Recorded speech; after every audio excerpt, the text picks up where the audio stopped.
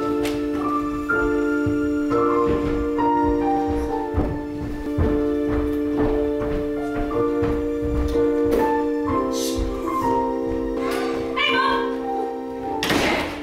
was Crazy Joe any help at all? Sure, he said things will pick up. When? Eventually. Oh, Jack. we can't wait that long. Oh, what's for breakfast?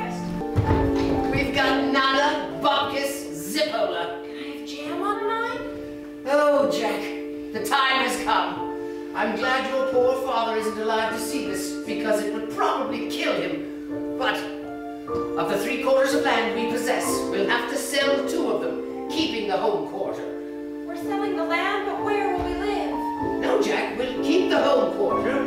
That's been in our family ever since your great-grandfather turned the sod with his bare hands. He had bare hands? It was a gypsy curse.